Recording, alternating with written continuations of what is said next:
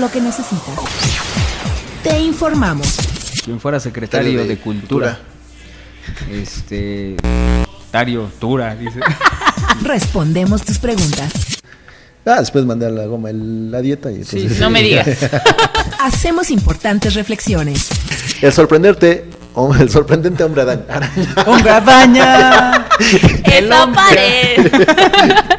El hombre adaña, tejió su teta daña. Pero lo más importante es, es, es que te escuchamos.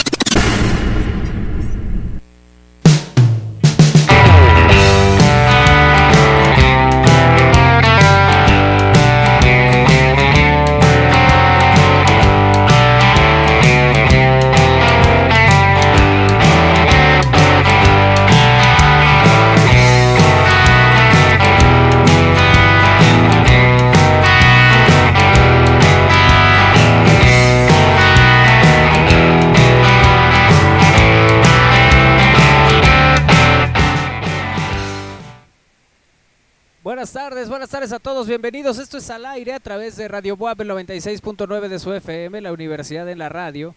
Y gracias también a los que nos acompañan y nos ven en televisión en estamosalaire.com.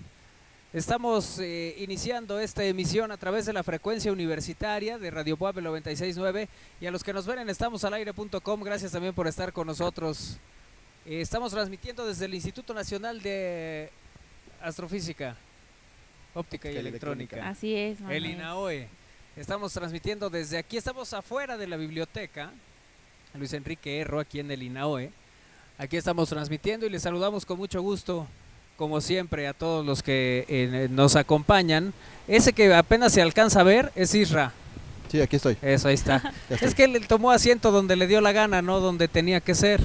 Pues nadie me dio indicación. ¿Dónde- dónde se acomodó? Nadie le dijo. No, no, nadie. Ay, Isra, pobre. Pero ahorita me sumo. A ver. No, ya, quédate. ¿Ya me queda acá? Oh. Ah, o sea, fue, le- fue la manera más sutil de decirme, no te acerques. No Hazte te para allá. acerques. Hazte para allá. exacto. Bueno, estamos transmitiendo desde el INAOE. Andan de aniversario. Les vamos a platicar a lo largo de esta semana muchas cosas que eh, suceden, muchas cosas que se hacen en el instituto y que, eh, bueno, pues además habrá actividades muy importantes a lo largo de esta, pues esta semana, que insisto, están de aniversario. Saludo a todo el equipo, a Néstor Vázquez en los controles. Néstor, buenas tardes. Melissa Lozano, eh, Daniel Aguilar, eh, Isra Moreno Torres Tamirano, saludamos con todos, estamos listos para iniciar. Ah, también Lalo y Manuel. Gracias, muchachos. Ya se les hizo tarde. Ya no van a llegar a su clase. Míralo, míralo. Eso es, nadie Ay. moleste a Lalito. Lalito de por sí se iba a quedar. Manuel, no tienes clase, ¿verdad? Manuel no supo cómo irse y se quedó. Sí, pero ya no supo, se quedó perdido. Bueno, estamos eh, en comunicación con ustedes en Twitter, twitter.com diagonal estamos al aire, en Facebook, facebook.com diagonal estamos al aire. Y hay un número para mensajes de texto. 22 21 61 6284 22 21 61 6284 número para mensajes de texto WhatsApp. Bueno, hoy tenemos muchas cosas para ustedes. Estaremos platicando con si quieren saber de nutrición, pues quédense, también vamos a hablar del tema. Y tenemos mucho para compartir con ustedes en este programa. ¿Qué pasó, Isra? Nada, nada. O sea, estás todo descuadrado. Sí, hasta mira. en. A ver, O sea, a ver. te voy a ayudar. Ay, No, ya voy, ya voy, ya voy. Yo te ayudo. Yo te ayudo. A ver. Ah, pero es esta. Sí, te digo que hasta el sillón te descuadras. ¿Cómo te organizas, Isra? Ah, porque ella desde hace rato nadie me dijo nada. Nadie le habla. Ah, pobrecito. Isra. ¿Cómo sufre? Oye, nos dijeron que parecíamos Pepillo Origel, Pati Chapoy y el Bisoño. Y bisoño. ¿Ah, sí? ¿Quién Te te dijo dijeron eso? bisoño. Aquí, Aquí, mero. aquí. Ah, sí, sí, sí. No me di, ¿y el chicle? bueno, gracias a Ya, Monse ya lo también. tiró, ya lo tiró porque sí había. Sí, lo trae pegado ahí. Gracias. En A el cabello. Monse. A Choco, que si Choco logra resolver el problema que gana- tenemos. ah, se- Carlos. Al Inge Carlos. Gana si logra resolver el problema que tenemos, le invitamos. ¿Qué, te gusta que le invitemos, No, una cena, pero una cena elegante. Es más, distinguida. hasta con dama incluida. Sí. Elegante, tan elegante con... Le conseguimos una amiga. Es más, le ponemos una, le ponemos una limusina. A Ah, eso. ¿qué tal? Si logra resolver el No, entuerto pues en el entonces que ahorita vengo, yo lo voy a resolver. A ver si lo logras. Bueno, Además de que lo proponemos para al Premio. Nacional de Ciencia y Tecnología. Sin duda, le vamos a pedir al doctor Mújica le dé un reconocimiento. Eh, y, y bueno, pues hagamos lo propio. Eh, 245-7492, les doy el número para que se lo aprendan. No Oye, hay no. nadie en este momento Y en ese número. para que si llamen, no tenemos boletos, ¿por qué han estado llamando? Oye, al sí, ¿cómo estudio? nos llaman, eh? Sí. Sí. Para preguntarnos Han- si... Han roto ya récords de tenemos llamadas al estudio. ¿Y Oye, a también ti? en la También. mañana me preguntaron Es- si, si sabía cómo iba a ser lo de la repartición de los boletos. Todavía no, nos dicen. No, todavía no hay nada. ¿no? No, no hay información. Nadie tiene la información aún. Bueno, sí la tienen, pero no la comparten. No, porque luego dices, no, na- nadie sabe. Y luego, no, pues ya dijeron con López Díaz que. Ah, Ah, bueno, he estado Por monitoreando. eso. He estado monitoreando y no. Lo, lo ha estado checando. lo ha estado checando. Bueno, está bien. Gracias, Monse. Gracias a Choco, a Elige, a todos los que están aquí eh, haciendo posible esta transmisión a través de la frecuencia universitaria y en estamosalaire.com, donde nos pueden ver en televisión en todo el mundo. Si usted está en Wisconsin, entre a estamosalaire.com y disfrute de este programa. Si se encuentran eh, aquí en Chipilo, también, donde lo quieran hacer, lo pueden. Si es vecino de Linaue. Si es vecino de, de Tonancintla, Lo puede hacer en vivo. lo puede hacer en vivo, vienen aquí, nos acompañan. Dicen que vienen con Monse, ¿no? ahí en la entrada. Venimos con Monse Y ya. y ya. Sin Ya problema, vieron nuestro ¿eh? back tan bonito. Sí, mira qué, qué elegantes eh, lucimos. Qué bonito es tener un camarógrafo que esté moviendo la toma con ese profesionalismo que lo hace Lalito. Muy bien, Lalito. No así. ¿Ya te vas, Manolo? ¿Ya? Bueno, no, sí, ni hablar. Ya mañana nos vemos. Temprano, ¿eh? No llegues tarde a tu clase. Bueno, pues gracias a todos. Vamos a iniciar esta emisión de al aire como todos los días con el resumen que hoy nos tiene Isra Valero y que en la nota del corazón nos va a hablar de Islas y Sherlyn. No es cierto. No, esa la descarté. No, porque Venga, ya fue la comidilla, no tus noticieros. No me digas. Aquí no van a escuchar Pues qué nada. feo. Nadie dice No, no van a nada. escuchar, sí van a escuchar, cómo no. Ah, bueno, Para que no anden con que, ay, cómo nos queremos, cómo nos amamos, cómo no te encontré antes en la vida y luego, ay, ya valió gorro. Ponte el amor eterno, ponte. Dicen que la crisis es el fin. Es que es- son cosas que uno nos explica. Digo, hay altas y bajas en la vida. Sí, pero no aguantar. pero hacer Oye, planteamientos como por fin encontré El amor de mi y vida. ahora sí, Oye. eres lo que siempre había esperado. No ¿Y llegaron qué la- pasó? No llegaron ni a la prueba de los tres años. Ah, yo pensé que la del amor. No. Espero que es así. Vámonos con el resumen de noticias en al aire a través de Radio Pop, el 96.9 de su FM, la Universidad en la Radio y en estamosalaire.com. resumen al aire. En Puebla. Entre los meses de diciembre y enero se entregarán 810 mil uniformes de manera gratuita a todos los alumnos de nivel primaria de escuelas públicas de la entidad, con el propósito de apoyar a la economía familiar y generar empleos.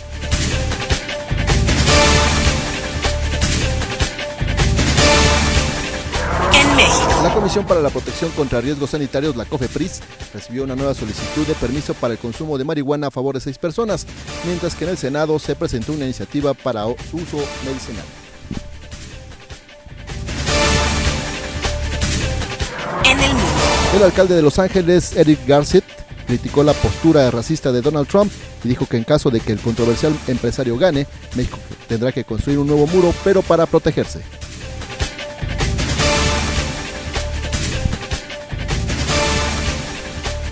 Deportes. Manuela Puente criticó la conformación de la actual selección mexicana bajo el mando del colombiano Juan Carlos Osorio, señalando que esta es la peor en 20 años.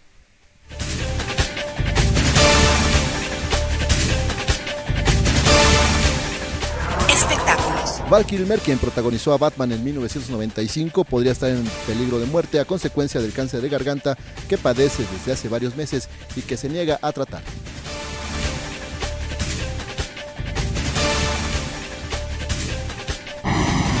Estás al aire.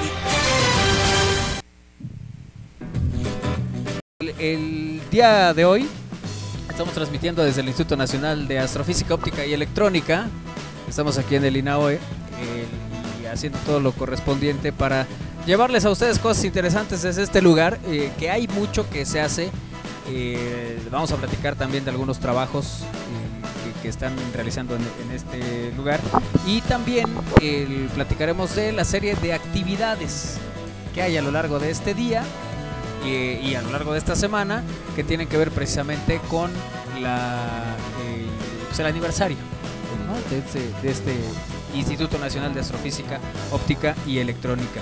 Pero antes, amigos míos, quiero decirles, si ustedes sienten que están pasados de tamales, ¿O no? Si ustedes sienten que les falta peso para ponerse bien, porque sí, normalmente el, el- el asunto de nutrición no tiene que ver Pues únicamente con el que adelgaces, sino con muchísimo el que también ejercicio y no ni bajas ni subes ni nada. Ándale también. Cualquiera de los casos, pues tiene que ver en buena medida con la nutrición. Y para eso hemos... Espérame, estoy viendo, estoy viendo el accionar de mi muchacho. A ver, ¿En, qué, ¿En cuánto tiempo creen ¿qué que crees que todo? eh, qué crees que Desconecta- puedas desconecta el blanco. desconectar? Sí, blanco. a ver, a ver, a ver. Conecta el blanco. A ver, ¿cuál será? ¿Cuál será? Eso es. De todas maneras ahí no cabe, pero va a pagar todo, lo sé. Lo sabía, lo sabía. No, no, este ya, hombre es Ahora, una cosa impresentable. Ya lo arregló. Bueno. Twitter.com diagonal estamos al aire, Facebook.com Ahora diagonal estamos al aire, las vías de contacto con este espacio y les decía, en buena medida las cosas tienen que ver con la nutrición. Por eso está con nosotros la nutrióloga María José Marcos, a quien saludo con gusto. Majo, ¿cómo te va? ¿Qué tal? Muy bien, muy bien, buenas tardes, bienvenida a este espacio. Me da mucho gusto saludarte, porque además yo ya fui testigo de cómo das una eh, consulta y eh, me quedó claro que eh, pues lleva todo un proceso, esto es toda una historia. Platícanos un poco, el, el- Majo, cómo es el, el tema cuando uno llega por primera ocasión a una consulta con un nutriólogo. Ok, bueno, primero es como presentarse y que Sí. la persona se sienta cómoda. Porque si Ujú. llegas y ya sientes como a la nutrióloga que no te cayó bien, ya no vas a regresar. Sí, claro. Ujú. Entonces sí, que la persona, el paciente, se sienta cómodo contigo, con el lugar en el, en el que está. Ya después de la presentación, pues saber qué quiere, porque en nutrición muchos creen que solo es para bajar de peso, pero no, o sea, hay millones de cosas que podemos tratar Ujú. saber qué quiere, qué puede, qué va a hacer, qué tantas ganas tiene, o si es obligado, porque luego los llevan a fuerza. Ajá, Sí, claro. sí. Ahí es, hay que, hay que manejarlo diferente a que cuando la persona va por disposición propia. Entonces, bueno, ahí empiezas a platicar para Ujú. ver las necesidades y pues cómo lo puedes apoyar tú dentro de sus necesidades. Ujú. Hay eh, gente que dices llevan a la fuerza. Sí, ¿Te, te ha tocado así? sí, sobre todo No. los niñitos. Ajá. Claro. Sí, los lleva la mamá a la fuerza. Ujú. Entonces esos cuestan trabajo porque hay que, o sea, tratar al niño de cierta manera para que no se sienta agredido, que sientas que lo están apoyando y que no lo llama su mamá a fuerza porque le dice que está gordo. Sí, hay que, hay que abordar hasta psicología, tienes que ser Claro. de todo, tienes que ser amiga, nutrióloga, psicóloga, terapeuta, todo. Oye, Majo, ¿a qué Entonces, pues no van a aprender qué darle si no lo llevan de chiquito. El niño va a seguir creciendo con malos hábitos y aunque dé el estirón, lo va a dar con sobrepeso. Entonces desde chiquitos yo creo que es buena opción si ven que tienen algún problemita del niño. Oye, ¿a qué edad se le enseña al niño que los taquitos de asada no son necesariamente la opción? Óyeme. Me gustaron ya de grande. ah, ok, ok. ¿Se puede comer de todo? Sí, sí se puede comer de todo, pero equilibrado. O sea, realmente yo soy como muy abierta en mis dietas, muy flexible, pero yo prefiero que aprendan a comer, aunque sea a lo mejor el proceso un poquito más tardado, un poquito más largo, pero que aprendan a comer y no que lleven una dieta súper estricta por un mes, dos meses, bajen muchísimo y luego Claro. regresan porque no aprendieron nada. Oye, pero Entonces, normalmente sí. esas son las de la boda, ¿no? Es que viene la boda en dos ¿Te ha meses. tocado? Me Sí, caso y no van. ese. Eh, antes de vacaciones me tocan muchísimos, Ah, claro. antes de junio, julio, Ajá. antes de Semana Santa. Todas las dietas de una semana las quieren y en diciembre. Obviamente sé hacerlas y hay quien las pide, pero no es lo ideal. O sea, eso sirve para literal y punto. Pero no te está generando buenos hábitos, no estás aprendiendo a comer, no estás aprendiendo nada. O sea, yo te estoy dando algo para que para lo que tú quieres, pero siempre les digo que tienen que regresar. O sea, no se van a ir como. Y no regresan. No, sí. ¿Sí regresan? Ah, bueno. Pues es que ya ves cambios, Manuel. y no, O sea, bueno, ya no ya. quieres regresar Claro. a lo que, a lo que no Sí. te gustaba. Sí, sí, sí, es una posibilidad. ¿Tú alguna vez has considerado, Israel, el, el asunto? ¿Has sido con nutriólogo y esto? No, no, un nutriólogo fui con un eh, acupunturista. Acupunturista. El acupunturista hace cosas distintas. No escuchaste bien. Ah, no escuchaste bien. Todavía me regaña. Ajá. que también me, me- me sometió a un régimen, pero no, no, no, aguantas. no aguanté. Porque te quitó, bueno, me quitó el azúcar, que es uno de los Te pidió que le bajaras a la verdura, No, no, a no, los no, no. embutidos, ¿no? ¿Le tampoco. bajaste a los No, no, no. embutidos? ¿No? Harinas, pero no, no, no. No. Me faltó fuerza de voluntad. ¿Sí? Ok, ok. Eh, ¿Tú, Vero? Yo no, nunca he ido. ¿No? No, pero sí me gustaría. Sí. Sí. El- ahorita el- ponías un ejemplo que también me parece importante, ¿no? Finalmente, cuando tú estás hablando de, de ir con un nutriólogo, el nutriólogo tiene que saber cuáles son tus actividades. No es lo mismo quien va al gimnasio por las mañanas y hace otro tipo de, de- ejercicios eh, a la gente que está todo el tiempo detrás de un escritorio o al que anda tocando de puerta en puerta. Es diferente. Sí, no, todo, o sea, por eso en la primera consulta es importante saber qué hace, a qué se dedica. Hay quien no hace nada. Entonces, pues sí le tienes que ir midiendo el tipo de alimentación, la cantidad de calorías, la cantidad de nutrimentos que necesita, dependiendo de la actividad que haga. O sea, ya sea que no hace nada o que es súper activo. Entonces sí, sí cambia. O sea, es, la nutrición es para todos. Aunque no hagas nada, necesitas nutrirte bien. Entonces hay una gran variedad de, de dietas. Claro. Oye, ¿no te vuelves el, el- un- un- digamos como de repente obsesiva del tema? Que veas que ese le falta peso, ese le sobra, ese le- así. Que lo primero que así, veas sí, ya sí. Sí, antes de decir hola, buenas tardes, no, este le sobran 8 kilos. Te vuelves analítica, yo diría. Ah, analítica, Ajá. sí, o sea, pues sí ves y nada, pues, te faltaría un poquito, le sobra tantito, pues Esta está bien. cena tacos de asada. Sí, sí, sí, sí, sí afecta, obviamente Sí. sí, afecta porque todo el día envuelto en eso, entonces pues, ya te vuelves analítica, todo lo que ves lo relacionas, lo comparas o buscas o si te sirve o no, o sea, no te sirve todo, pero sí. Fíjate, nosotros sin ser nutriólogos hacemos lo mismo. Esa le falta, esa Mames. ese- Ah, ¿ves? Eso, eso es crítica. yo Pero ella tiene una solución, nosotros no. Sí, sí, sí. Bueno, eh, ahí- Sí, no, sobre todo cuando estoy con mis amigas que son nutriólogas, ahí sí, sea, Sí. nos juntamos Uy, y sí. no sé si es análisis o no, pero se da. Bueno, y cuando llegas por primera vez al nutriólogo, ¿qué son las cosas que, que ves o que le preguntas por lo general? Ajá, hagamos un ejercicio. Supongamos que Vero llega contigo a, a- a una consulta. ¿Qué, qué es lo primero que le pides además de sinceridad y honestidad? Chin. Sí, eso es muy importante porque en serio no me dicen la verdad. Luego dicen que no comen nada y le sobran bastantes kilitos. Entonces, sobre la marcha te vas dando cuenta de que te dijeron mentiras. Entonces, sí, eso, el nutriólogo no los va a regañar. Díganles la verdad para poder trabajar bien, porque cuando nos dicen mentiras, pues es difícil, porque si no come nada y pues, si no come nada, ¿qué hago? Entonces, sí es importante que digan la verdad. Ok. Ok, primero le pregunto Honestidad. su nombre. Verónica, ¿Cuántos años tienes, Ver? 27. Es la verdad, te lo juro. Ok, ¿a qué te dedicas? Soy productora audiovisual. Ah, ¿qué tal? Ándale. ¿Y qué metas tienes? ¿Por qué estás aquí? ¿Qué buscas? Es que llevo como ocho meses en el gimnasio y sí bajé, pero no puedo subir masa muscular. Ok, ¿tienes alguna meta en específico, un peso en específico, un porcentaje de grasa específico? No, no, no. No, lo que yo te, lo que yo valore. Lo que tú creas que es normal y bien, Ok, está bien. perfecto, eso es más fácil para ¿Podemos mí. opinar todavía. nosotros? A veces van acompañados. y A ver, opinan. amigo, tengo alguna. Este, no sé tú, nosotros sí tenemos una meta para ti. ¿Cómo no? Muy ¿Cuál es bien. la Isra, dile. A ver, dinos, Isra, para ver qué puedo hacer. No, no, no. No, no tiene este, metas. Fíjate qué manera de conservar su dentadura, ¿eh? Sí, sí, sí. Sí, no, no, metas la es que pues, está muy bien así. Sí, sí, yo ¿no? creo que tiene metas a mediano plazo, pero no las comparte todavía. masa muscular. ¿En dónde? De la cintura para abajo. No, todos sí estamos de acuerdo. Ok. Este es un tema también, ¿eh? Porque luego me piden dietas específicas para aumentar. Dietas, no hay una dieta específica hay para, o sea, hay que trabajar todo, sí. Claro. Entonces, hay, a veces hay discusiones, pero llegamos a acuerdos. Ok. Ok. Bueno, entonces ya con esta información ya tú sabes cómo actuar. Y luego la menos. mides y viene No, todo. pero luego les pregunto si tienen algún tipo de padecimiento, eso es muy importante. Ujú. Ujú. Si han tenido cirugías, si están tomando algún medicamento, si tienen algún padecimiento. Algo que a mí me sirva para que yo con los alimentos ayude o, o limite. Mm, claro. Entonces sí, por eso es importante que me digan todo, todo, todo, sin pena. Ok. De ahí un poquito de hábitos. A qué hora se levantan, qué comen, qué desayunan, qué cenan, qué hacen más o menos durante el día, qué hora les da más hambre, qué alimentos les gustan, qué alimentos no les gusta. A mí me parece muy importante porque ya que te sometes a una dieta, a un régimen, Sí, claro.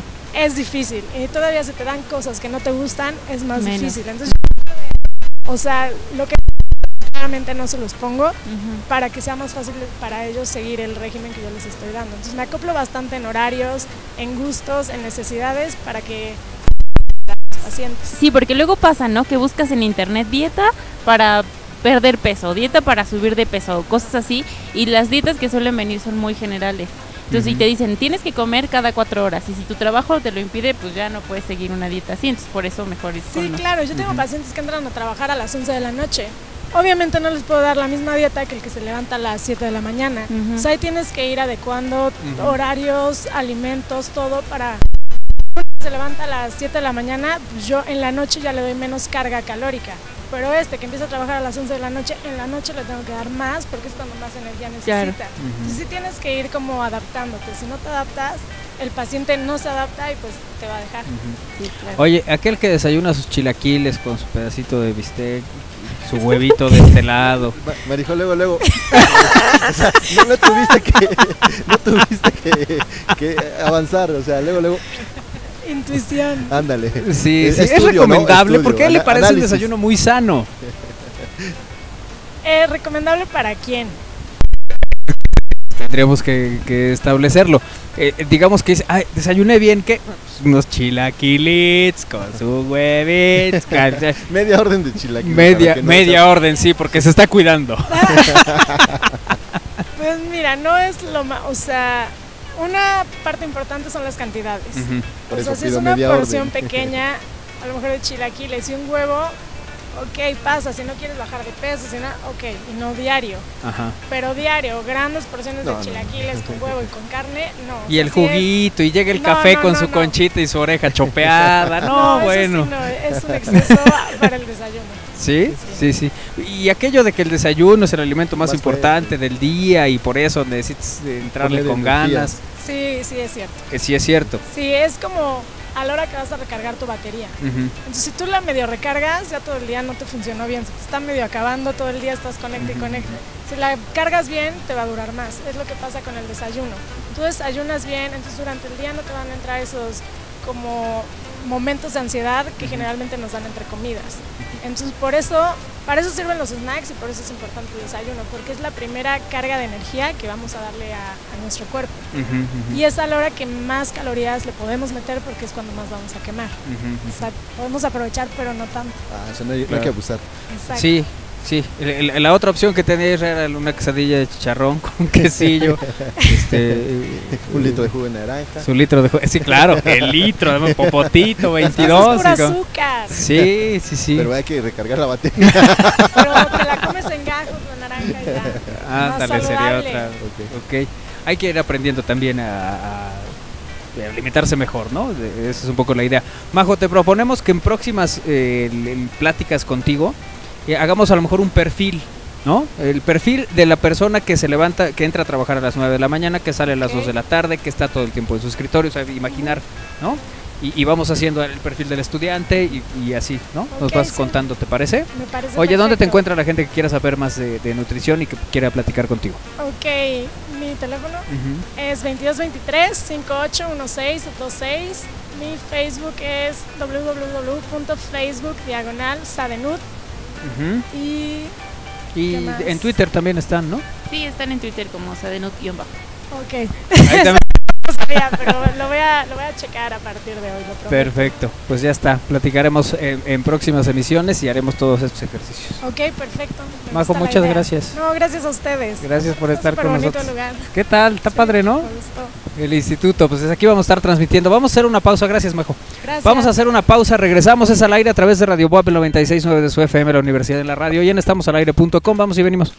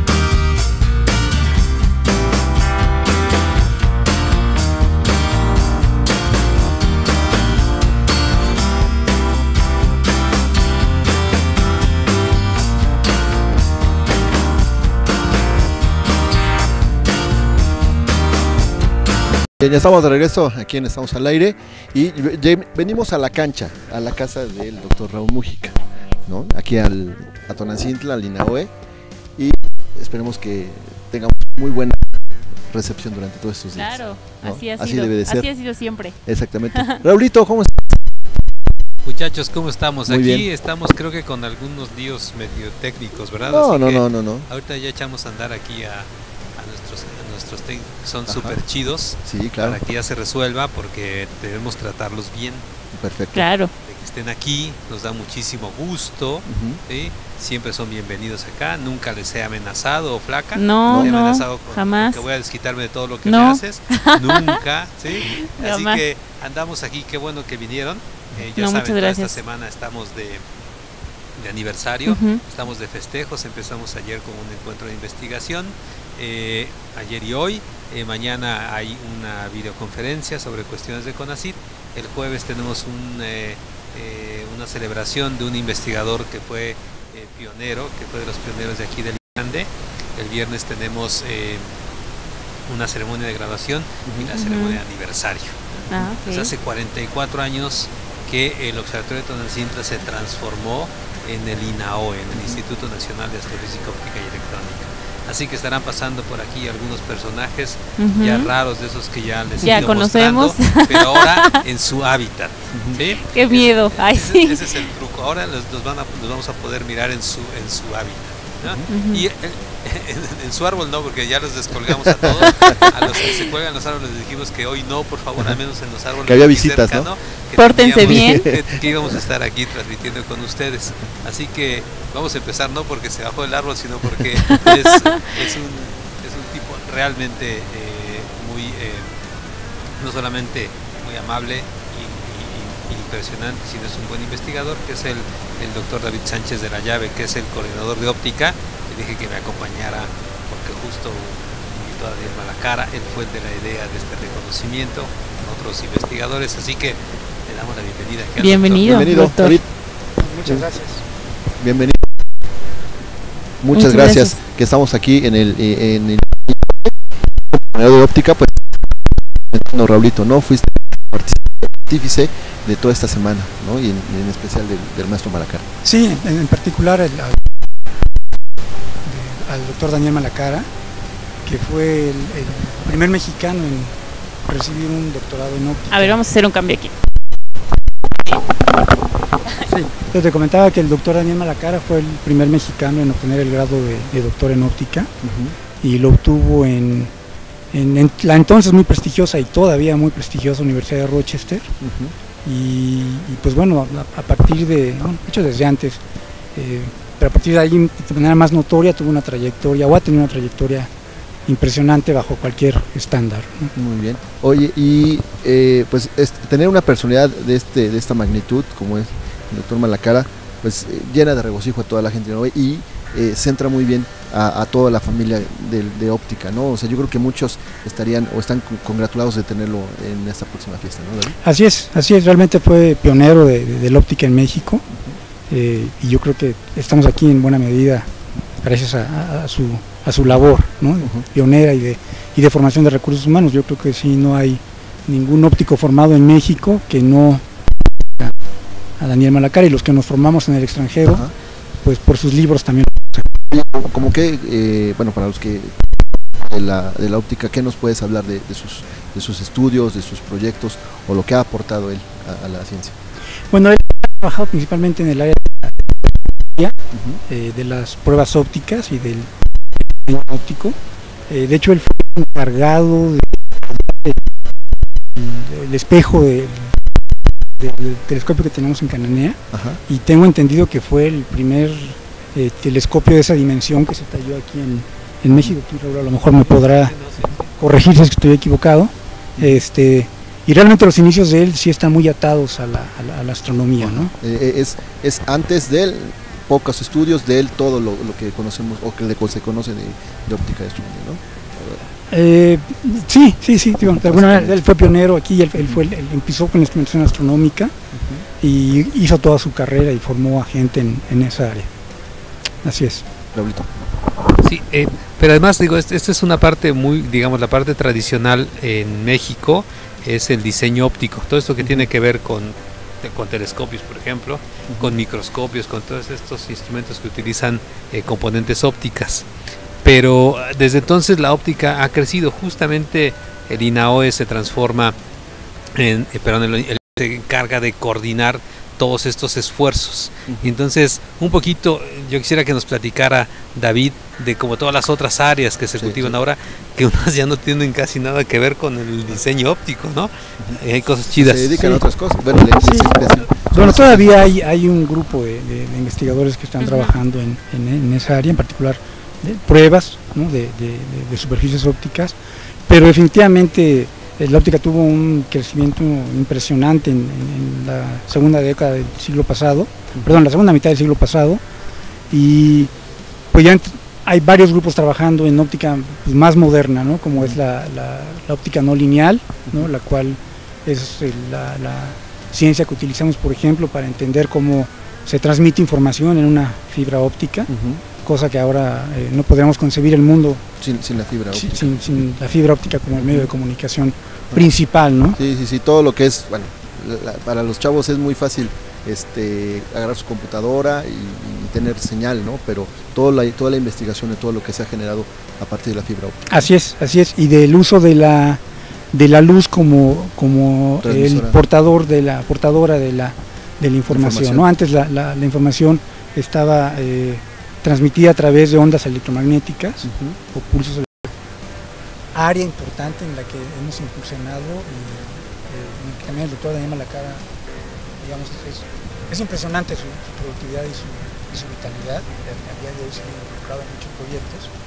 Y acaba él de, de- de, digamos, el arquitecto de, de un laboratorio que se llama Laboratorio Nacional de Óptica de la Visión, en el cual pues hacen estudios de, de- la córnea y del, del ojo en general para entender mejor cómo, cómo vemos, tener mejores modelos del ojo y por supuesto pues apoyar a, la- a los oftalmólogos para mejorar sus técnicas. Oye, David, pues eh, seguramente en, años recientes también eh, la óptica de otra magnitud, no solamente en la medicina, quizá, eh, no sé, en tecnología, ¿no? Estamos muy este, habituados que el- la tecnología cambia constantemente. o, o capturar partículas en, en determinada área o volumen. Entonces, el área que trabajo con, bueno, con otro grupo de investigadores, no, no estoy solo, obviamente es un equipo, es en generar estos patrones de lamparita y con, y con un tubo no de plástico. No, pero ya hablando en serio de, de láser no es imposible, porque eh, digamos, la luz se propaga y no hay manera de que se detenga sin que pongas tú algo que la, que la bloquee o la detenga realmente, ¿no? Entonces, este pues a lo mejor se puede, pero va a ser un una espada que mida no sé cuántos metros de longitud, ¿no? Deberíamos hacer, deberíamos hacer algún día una, una sección, Raulito, de, bueno, de ciencia, no son posibles o no hasta ahora, ¿no?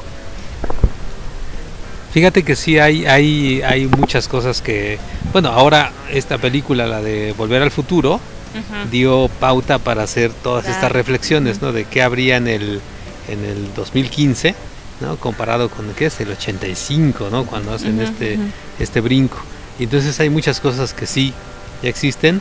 Todavía no están los tenis autoajustables, las chamarras autoajustables, Patinetas las voladoras. patinetas voladoras. Los autos. Pero los, Autos. los autos, eso sí, que esperamos que estuvieran los autos voladores. Habrá, habrá que, que buscar, si es un tema muy bonito, todo este, de, la- de- en particular los de ciencia ficción, por supuesto, ¿no? Ujú. Todas estas futuristas. Podemos hablar de eso, hay que invitar al, al profe Naime, ¿sí? O sea, Ahí hacer una combinación. y hacemos una combinación y además les platicamos de las películas de estas de, de ciencia ficción que tienen un buen fundamento científico. Hay unas que sí buscan un buen... La película de Interestelar, por ejemplo, eh, justo ahora vino a la Ciudad de las Ideas este Kip Thorne, que fue el que hizo el modelaje, hizo un modelaje y además publicó artículos con lo que le pidieron para la película. Por ejemplo, son anécdotas muy buenas, y, pero que dan a las películas cierto fundamento científico. Es lo que en algunos les llaman la ciencia ficción dura, o sea que sí se van a los, a, a los conceptos científicos y los respetan. ¿no? Ya todo lo demás es más bien fantasía, pero eso sería muy bonito. Los láseres también, pero los láseres sí cortan, ¿no? Este, No, sí doctor. cortan. No, por supuesto que cortan. Hay láseres para cortar acero, ¿no? Pero no es el concepto de investigadores, todos trabajando en, en diferentes áreas. Y de estudiantes de posgrado, si mal no recuerdo, tenemos alrededor de 65 más o menos, como veintitantos de maestría y el resto de en, en el área de eh, estudiando su, su doctorado. ¿Tú, Rabito? Ah, dije, no, pues ¿quién, quién sigue? ¿Cómo? No, no, no. Aquí? Es que Estamos te, así deja- te haciendo- cortamos la inspiración hace rato. Estamos, no, no, estamos haciendo aquí malabares, ¿no? Eh, fíjate, la, la coronación de óptica fue la primera que desarrolló en los- el posgrado, ¿no? Sí, El posgrado. así es, así es. Sí, el, el primer posgrado que hubo en, en el INAOE Ujú. fue, fue la maestría en óptica en, en 1972 y eh, para variar, Miguel Malacara estuvo fuertemente involucrado en, en, en la- en el inicio de este, de este posgrado, que supongo yo que también fue el primer posgrado en México, eh, de hecho no sé si fue la primera maestría en México en general, ¿eh? Probablemente sí. probablemente sí, en óptica seguro, pero no sé si en general haya sido la primera maestría en ciencias. Tal del vez, país. Tal vez la UNAM eh, tuvo algo antes, no estoy seguro, pero al menos en óptica yo creo que sí somos los también, ¿no? Es de las primeras. Sí, no, la primera. Sí, la primera. Oye, ¿quién es el primer, el primer doctorado? ¿Te acuerdas? El, El- primer graduado de, o así, de maestría y el primero de doctorado. Yo recuerdo el, De- el, el primer, ah, el primer doctorado es este de mm, es este de Machorro, Roberto Machorro. Sí, Roberto Machorro. Y el segundo doctorado es un personaje que ya conocen aquí en Al Aire.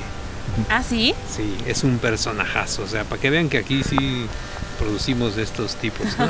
es el, el doctor Alberto Cordero. Ah, oh, cierto, Alberto Cordero es, es el, es el segundo. Bueno, a lo mejor no lo saben, pero el doctor Raúl Mujica, su maestría la hizo en No. óptica. También. Después corrigió el rumbo, pero originalmente andaba en- haciendo óptica. Eso debo aclararlo, o sea, no porque no quiera ser óptico, sino eh, el inicio aquí, cuando yo llegué hace ya muchos, muchos años también, es eh, no había, por supuesto, un posgrado en astrofísica, no había muchos astrónomos para poder generar un posgrado.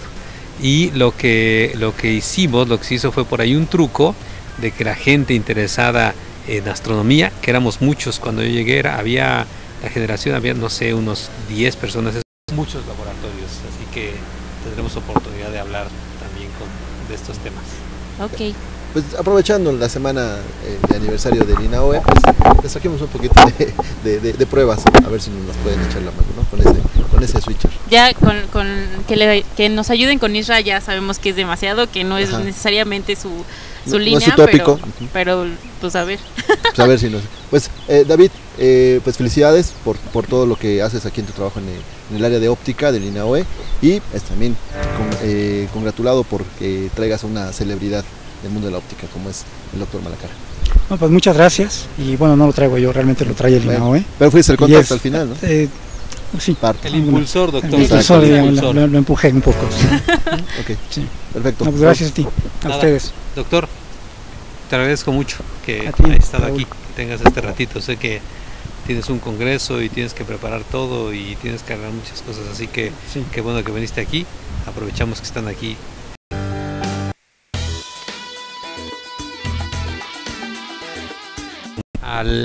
Ya tenemos aquí a pues al que dirige los rumbos de toda la gente que está por este cerro donde amablemente aceptaron venir ahora muchachos. Entonces eh, Alberto ya siempre está disponible para los medios en particular para ustedes muchachos. Y entonces pues hay que preguntarle que nos diga un poquito sobre esto de el INAOE, eh, toda esta semana, qué tenemos, qué vamos a hacer y eh, un poquito del- de los rumbos, hacia dónde va después el INAOE, ¿no? con, con todo el tema que se hace. Nos ven ya en muchos lados, eh, el INAOE es reconocido a nivel mundial, pero pues nos faltan muchas cosas que hacer, así que qué bueno que Alberto estuvo aquí ahora un rato y, y, pues aquí lo dejamos. Alberto, gracias.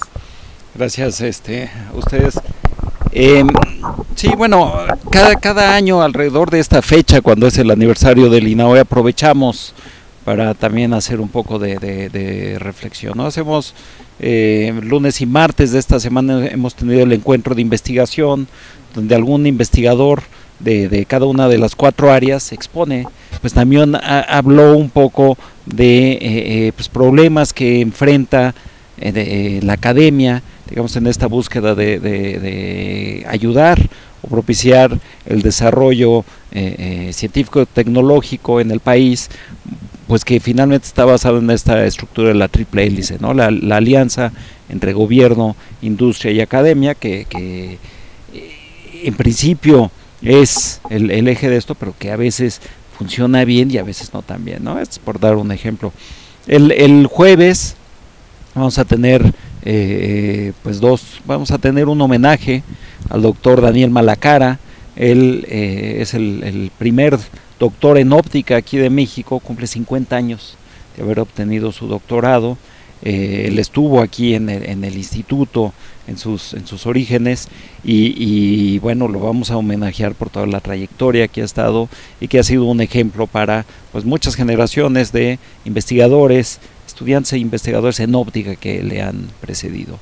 Y tendremos una conferencia de la doctora Silvia Torres Castilleja, eh, o también Silvia Torres Peinberg, quien es actualmente la presidenta de la Unión Astronómica Internacional, ¿no? Eh, una astrónoma reconocida a nivel mundial eh, por su trabajo y que hoy en día pues gestiona a, nivel internacional pues, digo, la, la, digamos, la máxima entidad en términos, o la máxima asociación eh, profesional de astrónomos a nivel mundial, ¿no? Más de 10.000 astrónomos están en la Unión Astronómica Internacional.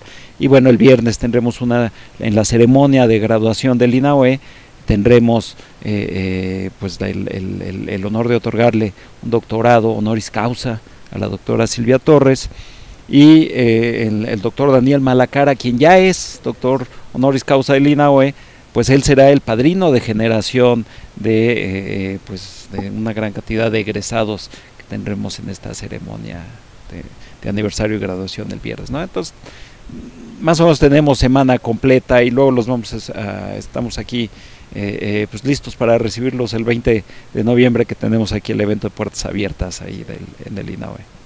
Sí, Alberto, son muchas, eh, son muchas cosas que hace el INAOE, el, este acercamiento con profesores, con estudiantes, el, las puertas abiertas, los ejercicios que se hacen en verano. Eh, es una apertura importante, pues, ¿no? Invitar a la gente siempre a que se acerque al mundo de la ciencia, lo hemos platicado desde hace muchos años con el doctor Mujica, pero de ahí puede salir esto, ¿no? De sí. ese gusto que Sí, puede haber. Nos, nosotros a lo, a lo que nos dedicamos, digamos, puesto de la manera más resumida posible, es a la generación del conocimiento, a su empleo y a su difusión. Y su difusión va desde la difusión, digamos, a, a nivel eh, profesional, ¿no? en formación de recursos humanos, como también es la difusión a nivel de, del público en general. ¿no? Entonces lo hacemos, digamos, cada una de estas tres actividades, generación, eh, empleo y difusión de conocimiento, lo, al nivel, digamos, tiene, tiene muchas, muchas aristas, ¿no? Entonces, generación, conocimiento, pues en las áreas de nuestra competencia, pero incluso a veces, este, incluso llegamos a áreas que, que inciden en, pues, no sé, telecomunicaciones, medicina, etcétera, ¿no? Ciencias espaciales. Y lo mismo con generación del, del conocimiento, ¿no? Digo, con la difusión del conocimiento eh, con nuestras maestrías, doctorados, eh, los cursos que llevamos con, con maestros, eh, los talleres de ciencia que tenemos también con jóvenes estudiantes y eventos de difusión, ¿no? también por ejemplo pues nuestra participación en la Noche de las Estrellas es, es un, un, ejemplo. ¿no? Entonces, bueno, de alguna forma en esta semana pues hacemos este una celebración de lo que se hace en este instituto, pues la, la labor de, de, más de 130 investigadores y todo el personal técnico, administrativo y de apoyo de estas labores. ¿no? Eh, Alberto Carrabiñana, que está con nosotros esta tarde aquí en el aire, hace, ¿qué fue hace un año? ¿Sí fue hace uno o hace dos? No me acuerdo. Hace más de uno, hace dos, yo creo. Sí. Andaba, ¿Por qué fue la lesión? Este, pero no estoy seguro que fuera Noche de las Estrellas. En una Semana Santa, de hecho estábamos ahí de vacaciones en la selva lacandona y, y no fue no fue ni, ni persiguiendo a un jaguar ni nada de eso, más bien me resbalé saliendo de un baño y me, me fracturé este el peroné. Y estuve okay. unos mesecitos ahí, bueno, semanas, ¿no? eh, desconectarse un poquito, eh, eh, meterse en algo más y, y- y después, pues aunque sale un, poco digo, un poco el, el- el ejercicio y, ¿no? la, la fatiga que viene con el ejercicio, viene junto con una, este, pues refrescar un poco la mente y estar listo para la siguiente jornada laboral, ¿no? Claro. Oye, el, eh, que además el, el champiñón es el que anda en las carreras, ¿verdad? Sí, recientemente estuvo en la Sí. Bike y fue el que dio la, la frase del evento, ¿no? Le preguntaron que cómo había sentido el recorrido, este, y él expresó que estaba poca, así. O sea, y no lo dijo una, ni dos, ni como cinco veces. Pero, pero es necesario. Pero como así tú, a ti te gusta la natación, él tiene la pasión por la bicicleta. Yo Sí, creo que cómo la no. mayoría hay, tienen una pasión o un, un deporte que, el que practican y que les gusta mucho. ¿no? Sí, sí, sí, lo, lo, lo, lo conocemos y alguna vez me han querido tentar al triatlón. Yo al triatlón no lo hago porque nado bien, pero la bicicleta más o menos, pero soy malísima. Entonces me han dicho que si en relevos, pero estos hacen natación en, en lagunas y cosas que están muy frías. Yo, yo no, no, no quiero verme aquí muy, este, Muy pro. eh, muy pro, pero yo, yo nado en alberga con carriles y vamos contra reloj y a ver si podemos, ¿no? y agua que no esté muy fría, Eh, templadita. templadita. Ándale. Oye, también se están haciendo muchas cosas. Hace rato hablabas de, de la ciencia, del trabajo que hacen ustedes, de la liga con la, con la academia. Y están haciendo también cosas muy importantes con la universidad, con la, con la UAP. Sí, cómo no. Eh, de hecho, esto oh, hem- hemos logrado de alguna forma, muchos dicen que la crisis es una oportunidad, ¿no? Tenemos una crisis en, en la zona donde está el, el- el- el GTM, el Gran Telescopio Milimétrico Alfonso Serrano y el Observatorio Hawk, en el sentido de que ya estamos generando datos, eh, terabytes de datos diarios, literalmente, y, y- y por años se ha buscado eh, tener la conectividad del sitio, ¿no? Y ahora tuvimos la oportunidad, ciertos recursos, eh, pudimos allegarnos un poquito más de recursos para eh, una conexión de, de fibra lo hablamos con el rector de la UAP y pudimos hacer un gana-gana donde de hecho nuestro, nuestro enlace de conectividad se, se suma a necesidades que ellos tienen y también a un enlace metropolitano que plantea la UAP para pues, hacer, pues, la verdad es que es un enlace a nivel estatal que, que yo creo que sienta un precedente no solo en Puebla, sino a, a- nivel del, del país, ¿no? Es, es digamos, llevar la, la, la conectividad eh, a un nivel muy alto, en, particularmente ahora para el uso académico de ambas instituciones, ¿no? Esto, eh, ahorita va a, a platicar con Alberto. Yo siempre quiero preguntar a Alberto Carragena, ¿cómo le hace con el doctor Raúl? Sí, lo- lo- No es un asunto sencillo. Sí, cómo No. lo soporta, o sea, si es porque ya está indexado, ¿qué onda, no? Es, es que reunión a la que va uno, Alberto te he de decir, por circunstancias de la vida, cualquier cosa. eh, bueno, nos invitaron a lo de la Facultad de Fisicomatemáticas ayer en Ciudad Universitaria. Y no que el doctor Monge, sí, como no, Sí, es parte del comité organizador. Anden todos los argüentes, ¿por qué lo aguantas? Bueno, porque eh, eh, tengo que decir que eh, en particular, digo, ya era hiperactivo desde antes, pero en particular ahora que, que creamos la, la dirección de divulgación y comunicación dentro del INAOE, pues los indicadores que tenemos de desempeño que reportamos ¿no? a, a, y, y las agencias a las que les reportamos, pues ya no es que los cumplamos al 50%, los llevamos por un factor de... la difusión, lo que hacemos no solamente en el instituto, lo que se hace en general en ciencia, hay que darle, hay que darle eh, eh, pues vuelo, tiene que estar por todos lados. Y yo creo que la verdad es que con Alberto ahora, con este, como dice él ya desde antes, era este hiperactivo, pero ahora con esta parte de la Dirección de Divulgación y Comunicación que hemos logrado juntar, o sea, que es eh, por supuesto iniciativa de Alberto de, de- de hace, hace un año, que es formal, Sí. hemos logrado juntar diferentes áreas que de alguna manera estaban un poquito desbalagadas, como dicen ¿no? los, los abuelos y las abuelas. Entonces, juntando todo esto, pues podemos llegar, yo creo que más lejos y es justo lo que se refleja. Nada más era ponernos de acuerdo, ¿no? Para, para ver hacia dónde jalábamos. Y, y de esta parte que, que le toca a la Dirección de Divulgación y Comunicaciones, pues también saber hacia dónde va este instituto. O sea, necesitamos ver hacia dónde va. Y eso es lo que yo quisiera que Alberto nos comentara un poquito cómo ve, o sea, qué sigue, ¿no?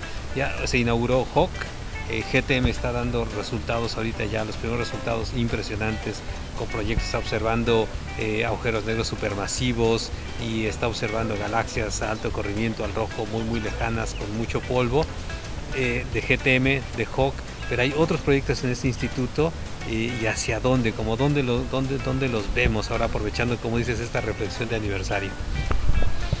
Sí, bueno, uno- una de las, de, la- de las eh, eh, fortalezas planteadas desde hace, ahora sí, 44 años por Guillermo Aro para este instituto, es la posibilidad de eh, mezclar fortalezas, ¿no? Las áreas de óptica, de electrónica, de cómputo, juntas pues, nos han dado ya, por ejemplo, el desarrollo de un grupo de ciencias espaciales, ¿no? Entonces ahí tenemos más campo de acción, entonces tenemos identificado, digamos, un, ámbito en el que quisiéramos coordinarnos mejor y que se hace en, en- los diferentes, eh, en diferentes laboratorios del instituto es, por ejemplo, la parte eh, eh, médica, ¿no? Nosotros ya estamos participando con el Centro de Investigaciones de Óptica, el CIO, en el Laboratorio Nacional de Óptica de la Visión. Hemos desarrollado la- la- el área de ciencias computacionales, por ejemplo, eh, eh, sistemas para la rehabilitación de gente con embolias. Y, y, por ejemplo, electrónica y cómputo han trabajado también en sistemas de, de censado de eh, condiciones médicas, también en, en el, en el caso de óptica, pues, por ejemplo, de coloración de la piel para eh, eh, diagnóstico temprano de áreas, digo, de enfermedades. Pero estas son, estos son desarrollos que se han hecho, digamos, de investigadores de manera independiente y no de una forma coordinada. Entonces yo creo que ahí hay un poquito un- una, una oportunidad de eh, eh, sumarnos y de tener fortalezas para este, llegar a esta área. ¿no? Y, otro campo, principio de oportunidad también, eh, visto a nivel de, de- todos los centros del sistema de- de públicos, de, centros públicos de investigación con ACID, es por ejemplo el área automotriz. ¿no? Entonces ahí estamos buscando alianzas, formar consorcios con eh, otras instituciones de- de- del sistema CONACID para eh, eh, pues, servicios especializados y desarrollos, por ejemplo, para el sector automotriz. ¿no? Por ahí, por ahí viene, ¿no? Por ahí viene de- el asunto, la ruta. Hace rato estábamos haciendo la reflexión de hace 44 años, ¿qué hacía Isra, por ejemplo?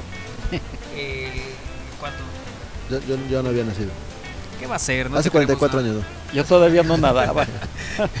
Todavía no nadabas, claro. Sí, es cierto.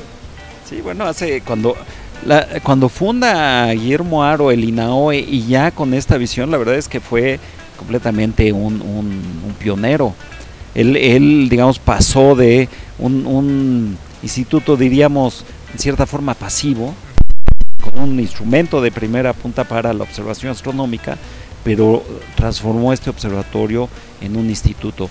Y, realmente es el, primero de los centros públicos de investigación del sistema y, es como de lanza, no solo como instituto de, de investigación básica y aplicada, sino como centro público de instituto que busque dentro de su, de su misión, busque eh, solución a problemas nacionales.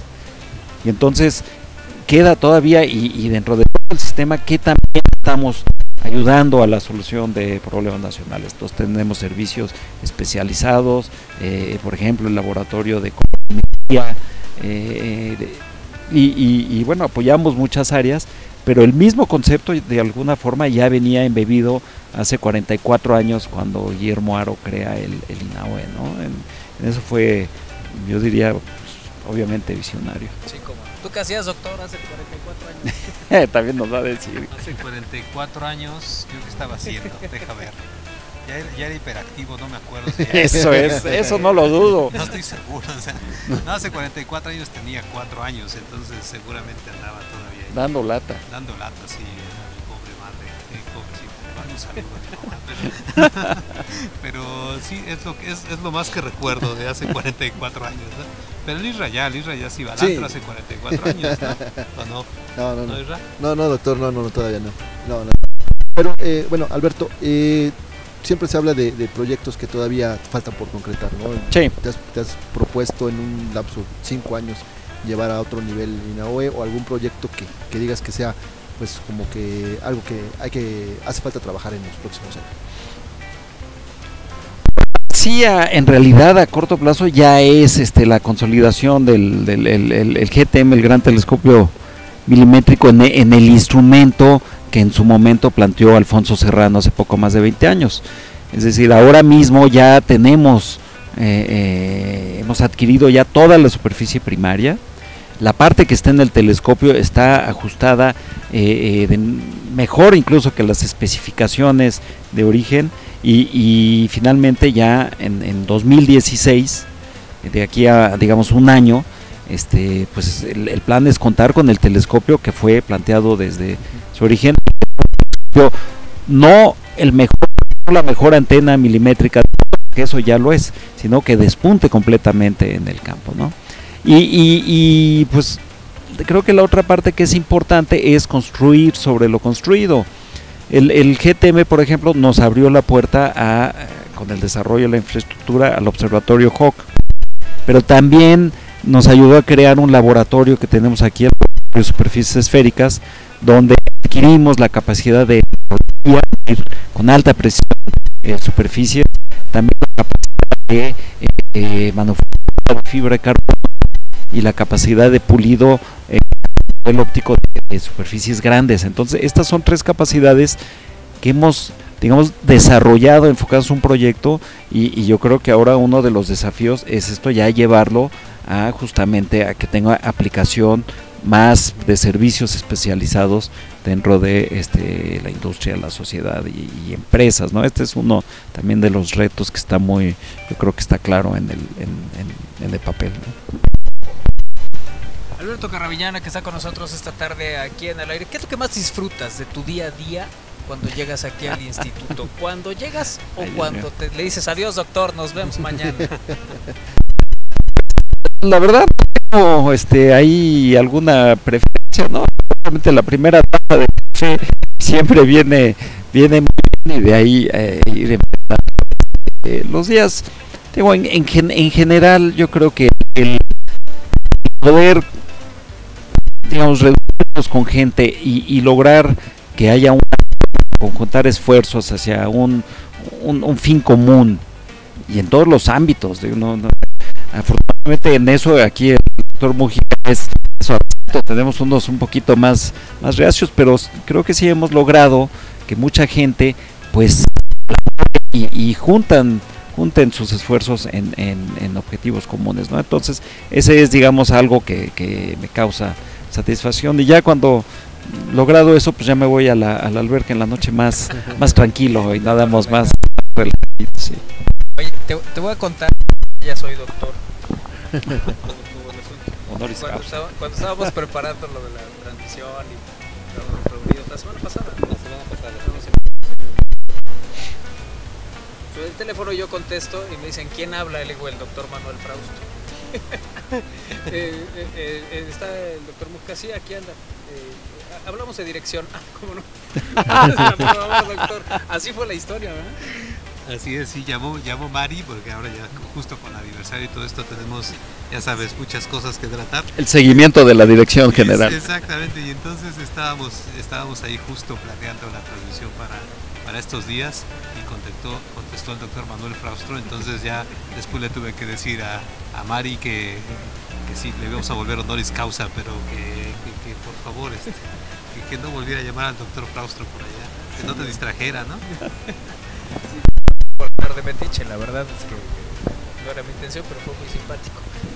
Es un gusto estar en este lugar, Alberto, porque además sabemos el esfuerzo y el trabajo que han hecho desde hace muchos años. Digo, yo cuando menos, que tenemos una actividad constante y permanente, que tiene seis años, doctor. Me refiero al doctor Mújica. Por lo menos, sí, por lo menos. Sí, por lo menos seis años. ¿Cuántos años tienes en el, en el, en el programa? Ya son, Al aire llevamos para. Van para seis y nosotros Sí. empezamos como, como un año antes. ¿no? antes más o menos. un año, dos años tal vez antes. Justo pues el último, el último programa que hiciste de cómo se llamaba? De tele. De tele. Ujú. Bueno, los últimos dos, porque salieron dos, justo los los sacaste de aquí antes de, de que se volviera al aire, ¿no? Entonces, eh, ya tenemos un rato haciendo estas cosas. Sí. Y, y que aquí eh, fuimos también conociendo proyectos desde el inicio, eh, algunos otros cómo se fueron desarrollando, ¿no? Que fue lo de Hawk, por ejemplo, hace ya también algunos años. Y, y que de alguna manera también eh, tenemos muy claro que de repente no es fácil operar, ¿no? El, el día a día, una institución como el INAOE, y más cuando vamos viendo recortes y recortes y recortes y recortes. Sí, eh, eh, y ahí, bueno, afortunadamente hemos, hemos estado más o menos inmune a, recortes. Tuvimos uno más o menos leve al principio del año, ¿no? Nos afectó a nivel de 1 o 2% de, en, en el presupuesto operativo, pero digo, afortunadamente sin que haya habido los aumentos que se requieren hoy en día para, pues, especialmente para este del 1% del Producto Interno Bruto, pues por lo menos no ha habido eh, eh, recortes dentro de este sector, lo que, bueno, de alguna forma sí nos ha permitido que eh, nuestra institución, al igual que, que otras, pues avancen en, en- en el desarrollo de científico tecnológico. Finalmente, yo creo que sí vale la pena eh, eh, poner en la mesa que México todavía tiene un rezago en la parte de investigación científica, que, bueno, de alguna forma se refleja en, en todavía la alta dependencia tecnológica, pero creo que, y, eso es parte del tema de, de, este aniversario. Ya llevamos unos 40, 50 años que hay investigación en México, digamos, eh, eh, con, con impacto y, ha ido aumentando y, ya empieza a tener, eh, yo creo, su, un- un buen nivel de reflejo en la sociedad, ¿no? Tuvimos eh, no sé si este año o el año pasado, a Rui Pérez Tamayo, que vino, nos habló y él nos dijo, bueno, es que en, en- en el México de los 40 lo que había en términos de infraestructura científica era nada. Y de ahí a picar piedra y ahora, bien que mal, sí hay este, suficiente para hacer investigación de calidad y ahora lo que necesitamos es que sea capaz de impulsar el desarrollo, por ejemplo, desarrollo regional de la ciencia y tecnología en, en- en todos lados de este país, ¿no? Pues un gusto, un gusto Alberto Carramellano platicar contigo, eh, saber que el trabajo que han hecho aquí de muchos años y pues tiene también el reconocimiento de la gente, ¿no? Porque muchos vienen, conocen, saben lo que se hace y luego lo disfrutan y luego vienen y también viven el instituto de otra manera, ya están esperando para venir también con su familia y todo eso, pues la gente, eh, eso le, le queda claro. Sí, no, bueno, pues aquí con el placer de recibir a la gente, este, a decenas de miles de gentes, ¿no? Cada año en este instituto, e incluso de recibir a, a- a un buen número de gentes ahí en, eh, tanto en Cananea como en, en Sierra Negra, más de 4.000 metros de Sí. altura, ¿no? Sí, sí, sí. Un gusto, un gusto Alberto platicar contigo. Un gusto también de parte mía. Muchas gracias. Muchas gracias. Ya lo, lo vamos a dejar, ¿verdad? Pues tiene otras actividades. Sí, no lo vamos a dejar, sí, porque lo vamos a explotar más toda esta semana, Sí. que es de aniversario, entonces hay que darle chance. Yo creo que ya tuvo como dos, tres entrevistas, mañana le toca otra y así, entonces Así vamos. dejemos, dejemos que descanse un poquito. Muchas gracias. Alberto, gracias. Qué Gracias a ustedes. Un rato. Con permiso. Gracias, gracias Alberto. Vámonos a una pausa. Hacemos una pausa y regresamos es al aire a través de Radio Boa. Bien, estamos al aire.com.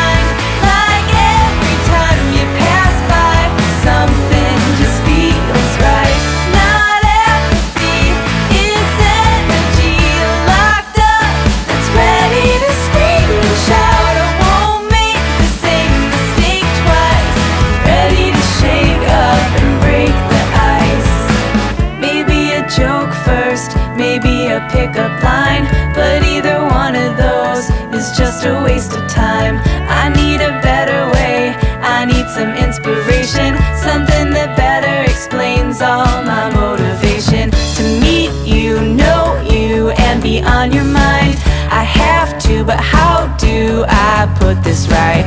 Don't overcomplicate, just say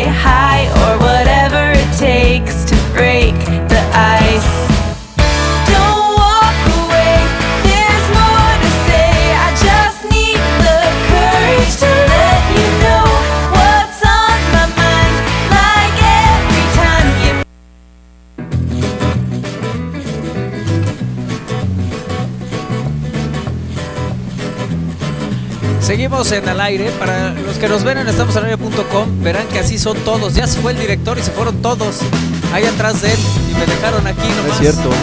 Sí, cómo no, el doctor Mujica se fue para allá, Monse se fue para allá, Isra se fue para allá, a ver si No, ya no, viene no. aquí para que, ay, si no vayan a decir, Berito ya se fue también. No, ya se fue me desde hace media hora. aquí, Ya me dejaron aquí, ¿sabes qué? Vámonos a la agenda, a la agenda cultural con Anamí Velasco, como todos los días, aquí en el aire a través de Radio Web, bien, estamos al aire.com, estamos transmitiendo desde el Instituto Nacional de Astrofísica, Óptica y Electrónica, desde el INAOE.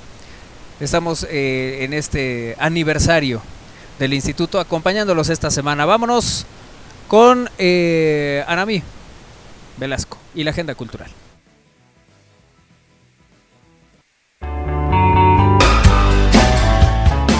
Amigos, estamos al aire, buenas tardes, aquí les tengo la agenda cultural. Las salas de cine de arte del Complejo Cultural Universitario traen para este miércoles 11 de noviembre la película Prince Avalanche, del director David Gordon Green, la historia de dos frikis, cuñados y solitarios que se ganan la vida de forma eventual pintando las líneas de las carreteras. Una excelente comedia que no te puedes perder. Está en dos horarios, 17 y 19 horas, y el acceso es libre. La exposición Cachú y sus imágenes de la revolución del fotógrafo y curador Juan Cachú Ramírez sigue en las instalaciones del Archivo Histórico de la UAP, Reforma 531. Aprovecha este miércoles 11 de noviembre y visita esta recopilación desde las 9 hasta las 16.30 horas. La entrada es libre.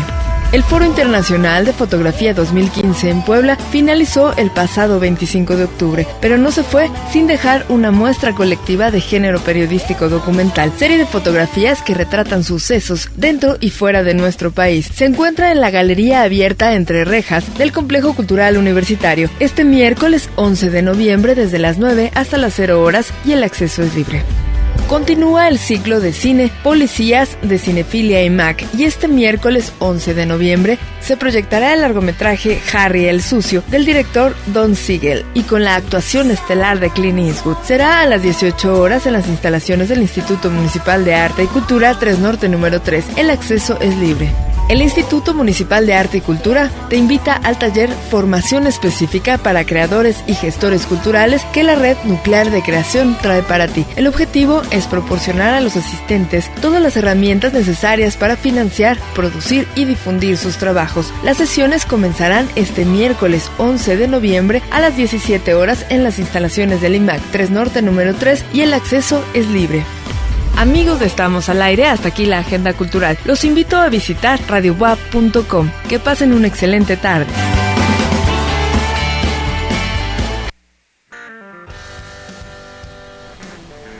Seguimos, seguimos en al aire a través de Radio 69 de su FM, la Universidad de la Radio. Y gracias también a los que nos ven y nos acompañan en televisión en estamosalaire.com. Si quieres, tú hasta para acá y ahorita que llegue ya que se siente de este. Si quiere, ¿no? O, sea, Pues que sí. se vaya, ¿tú cómo O sea, ves? No, no, no, pues. No, digo, o sea, cuando quiera, cuando Uno te- a las estrellas de la música no los puede presionar, ¿verdad? Pero qué estrella de la música, es un Él me dijo que era Lionel Richie. Lionel Richie. Sí. Él dijo, no, pero más bien parece como el Buki, ¿no? ¿O ¿Cómo la ves? Ahorita vamos, ahorita vamos con a platicar. estilo, ¿viste? Oye, estamos nosotros afuera de la biblioteca Luis Enrique Erro, doctor. Así Estamos es, transmitiendo así aquí. es, así es, estamos aquí. Este es lo que se llama el Centro de Información. Tengo que indicar aquí a Miguel Chávez que, que, que dé la vuelta, porque ya se iba a atravesar aquí, como yo en mis buenos tiempos, entonces ya llegó aquí el doctor Chávez. Pero estamos justo aquí Buenas el tardes. Centro de Información del INAOE. Aquí está la biblioteca, está ahí arriba, hay unas oficinas en medio y abajo está una como para unas 400 personas, así que este es este es un espacio importante aquí es donde nos reunimos generalmente todo el instituto cuando hay una conferencia de las grandotas. Para los eventos ahora de aniversario son eh, todos son aquí y pues a la biblioteca ya no la visitamos mucho, pero todavía andamos por aquí. Todavía, todavía. El- el- ya está el doctor con nosotros. Ya está el doctor, pero ahora que se espere, ¿no? ¿O qué? no, no es cierto, compadrito. El tiempo que. Oye, No, además sí tiene voz. eh, De- que- de- Lionel Pone, ¿no? Sí, sí, sí. ra- Radiofónica, De hecho, digamos. Eh, Eh, ándale. Pero sí, como el de el del balcón, ¿cómo se llamaba? No, el- Ibarra Masari. Ibarra Basari. Eh, eh, Ibarra Masari, ¿no? José Luis. Exactamente, don José Luis. A ver, sí, ponle el sí. micro y que A hable, ver, doctor. compadrito, una prueba de sonido. Probando, probando. Uno, dos, tres. Sí, sí. Bueno, ya, habrá, ya habrán entendido que ahora tenemos a, a otro de los personajes que, que, que ha generado este instituto, desafortunadamente para la humanidad. No, no es cierto. Eh, está ahora mi compadre. no, es mi compadre. Es tu compadre, yo Es sé, Mi compadre, el doctor Chávez. Doctor, el doctor Miguel Chávez es el, es el eh, eh, PS, el científico del proyecto Gran Telescopio Milimétrico. Es, eh, digamos, el segundo a bordo eh, que trabaja con David Hughes, que es el director de- del proyecto. Y Miguel ahorita está encargado de la parte, de la parte científica. Y all- cuando lo encontramos la semana pasada, que anduvieron por aquí, eh, surgió casualmente que no ha estado en el programa, nunca ha estado en el programa. Eh, y entonces como nunca iba a ir al estudio, Mejor entonces dijimos traemos el estudio a ver si se digna, entonces esta vez se hizo su, su tiempito ahí y toda la cosa, pero agu- aguanta, va- va- y además vale la pena esperar por mi compadrito. Sí. Estoy de acuerdo contigo. Eso, compadrito. Yo lo sé. Digo, para que vean el tipo de personajes. Qué bueno que no está cerca el champiñón, sino que acabamos con el planeta. Entonces, yo, yo lo invité porque, ¿sabes? Eh, De estos resultados que, mm, que hemos platicado del gran telescopio milimétrico, que es que hacemos reflexión ahorita con Alberto y también con David, eh, Miguel tiene una cosa muy bonita, muy bonita de, de resultados, no ya de eh, estos objetos que están en los límites del universo y lejanos y son gigantescos. Y brillantes, es un objeto muy sencillo, es una estrella, pero yo le pediría que nos platicara un poquito de, Claro. de qué es lo que ha encontrado justo con el GTM y un poquito los retos que ha tenido como, como parte del cargo que, que tiene. Sí, compadrito, platícanos, ¿qué onda? ¿Cómo no? Muchas gracias. Antes que nada, exacto, sí, sí, exacto. Pero sí, aguantamos vara por algo, nos conocemos desde sí, hace me imagino, me imagino. tiempos astronómicos. Exactamente. No, antes de iniciar me gustaría decirles otra cosa que es también relativa al GTM y- y por eso se me ve, los radioescuchas, no me verán, pero traigo el cerebro nubilado y la cara que significa que traigo el cerebro Ah, ok, nubilado. ok, ok. Porque eh, estoy estudiando algunas cosas que quisiera cultivar después con el GTM que tienen que ver eh, con un curso que acabamos de, de finalizar el día de ayer, que es eh, astroquímica, astrobiología y el origen de la vida. Ah, mira, estuvo y eso sencillito. sí, no implica una cantidad enorme de conocimientos que yo no poseo, pero que quiero cultivar. Ok. Es algo e- es un mensaje que deseo transmitir, no importa Ok. lo viejitos que estén, Ajá. los deseos de aprender se deben de preservar Ok. hasta el fin de los tiempos. Eso es. Y bueno, regresando a lo que mencionaba Raúl, eh, efectivamente estamos concluyendo un artículo en el cual reportamos eh, eh, un estudio que hicimos con el GTM de una estrella que se llama Epsilon Eridani, Ok, que tiene un nombre muy bonito. sí. Y no solo eso, sino que aparte de que tiene el nombre muy bonito, es el- la estrella más parecida al Sol, aislada, eh, la más cerca que tenemos. Está apenas unos 10 años luz de distancia. Y esta estrella ha sido ampliamente estudiada y, y parece que algunas personas le han detectado planetas que giran en torno a esta estrella.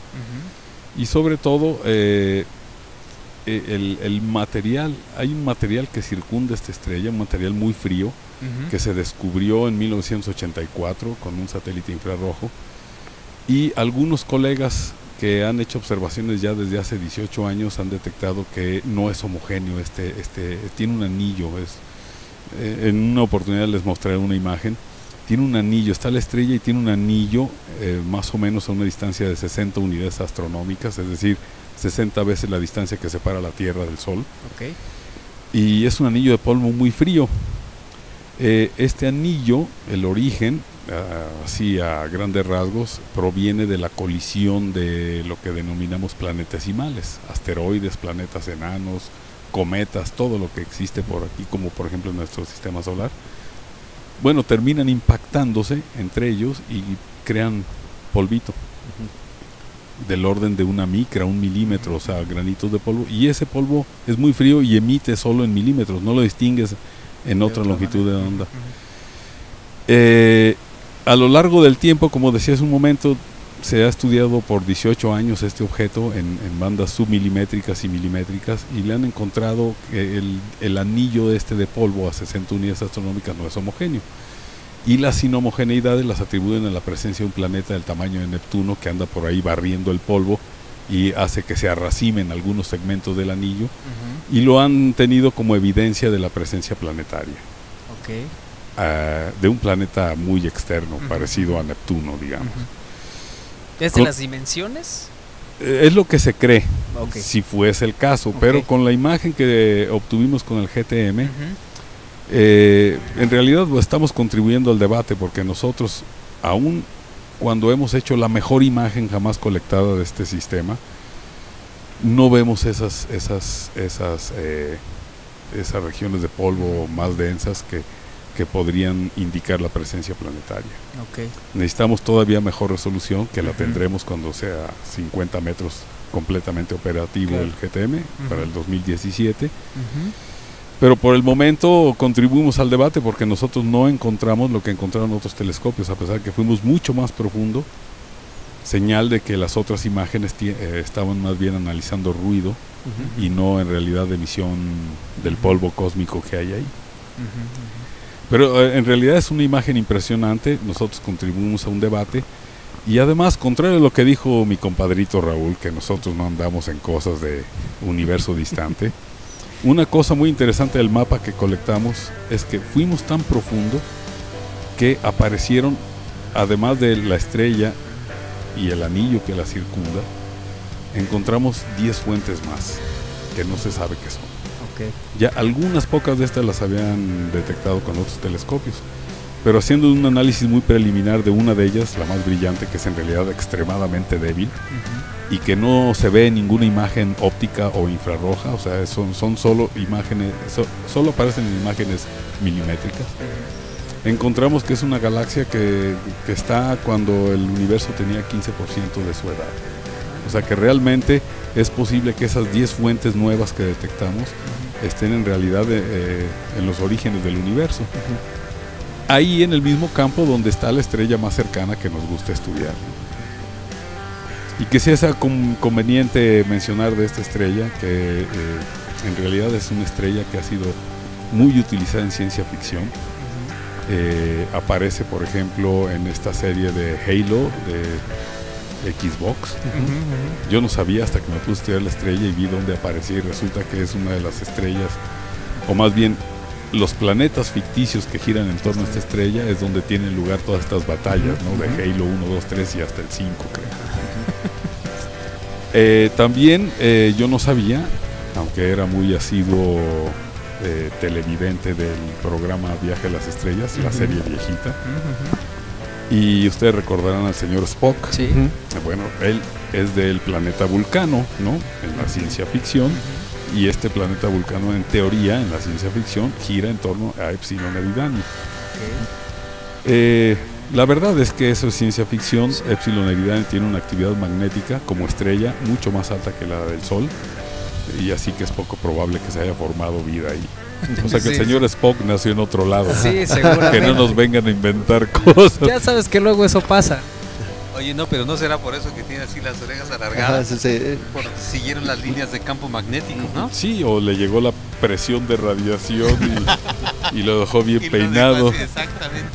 Oye, pero, pero este tema de, de, de- de los planetas es ahorita pues es un tema calientito. Ahora descubrir planetas y si son habitables y todo eso, que tiene que ver con el otro tema que estás ahorita metiendo, que es el de la, la exobiología y todo esto, ¿no? Pero ¿qué, quieres hacer? O sea, ¿con el GTM vas a hacer todo eso? Eh, no, estamos complementando información eh, de muchos telescopios. Pero déjame mencionar un par de cosillas. Son dos momentos históricos, en mi opinión, por supuesto. Eh, uno es que efectivamente en 1984, eh, esa fecha que George Or- Orwell puso como título en su obra, esta medio apocalíptica, ¿no? De cómo iba a ser el mundo, que luego dio lugar a muchos programas de televisión, esto de Big Brother.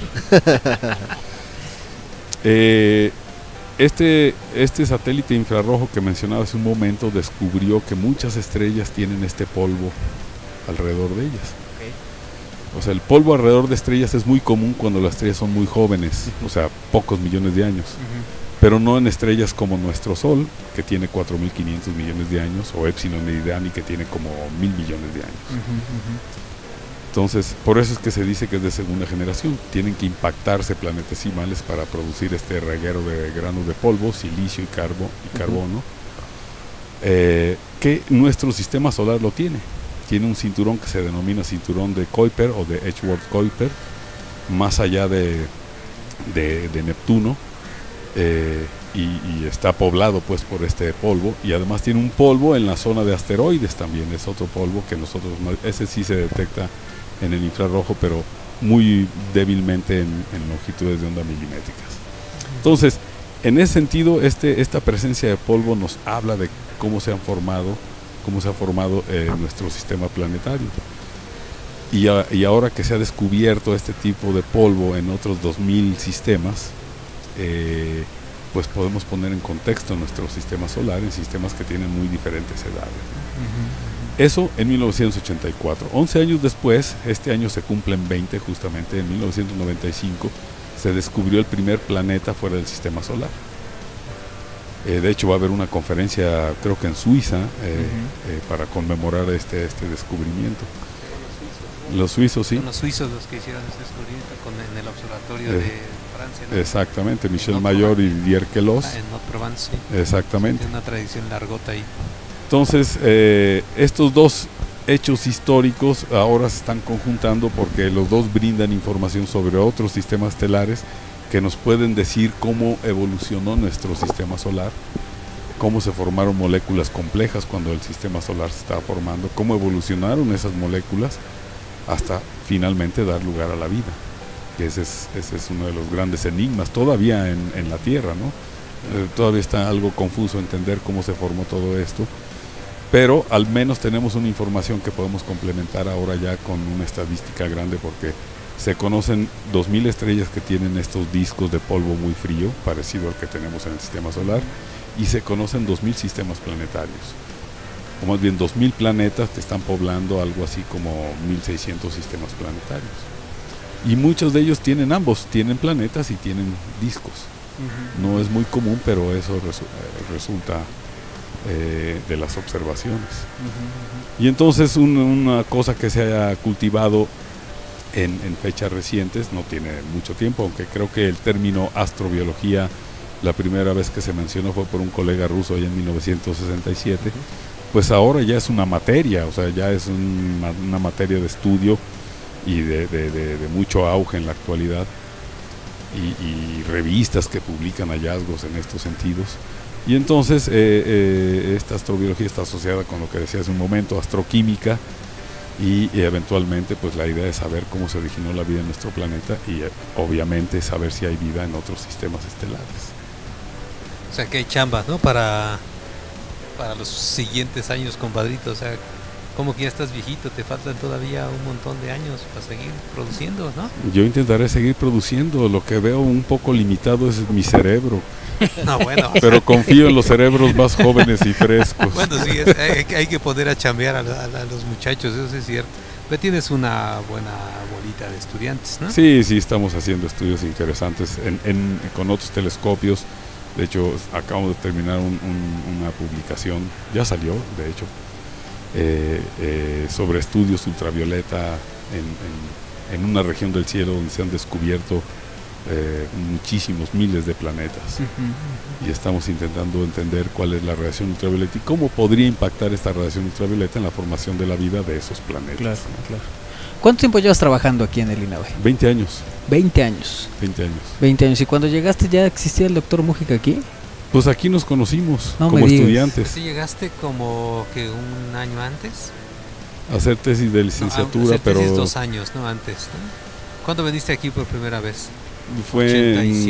en 87, pero estuve dos o tres meses nada más. Y después lleg- regresaste ya En el eh, 89, cuando iniciamos la maestría. Claro, y yo entré aquí en el 89 Ujú. también. Ok, sí, más o somos, menos. Somos compañeros de generación de la maestría. Él también, tú también tienes, eh, te dieron el grado de óptico, ¿no? No, no tengo el grado Ah, no, porque, claro, porque tú te fuiste más bien estoy en la lista negra. Ah.